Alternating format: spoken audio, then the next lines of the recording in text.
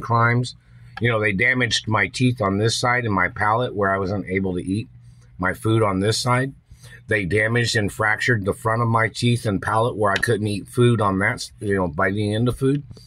And the satellite man has been hitting me on this side, damaging. I still can't eat on this side, and I can't still bite. I can't bite into food from them fucking up my face with satellites and them damaging my teeth.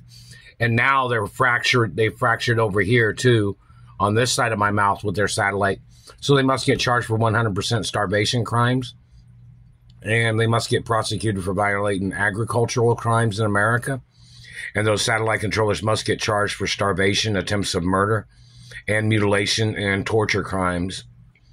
And them making it difficult for me to live my life because they're hateful, jealous psychos damaging teeth.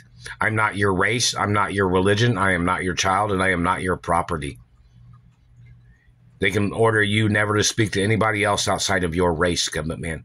If they catch you talking to somebody outside your race, you can be fucking prosecuted and arrested for your lies of terrorizing my life.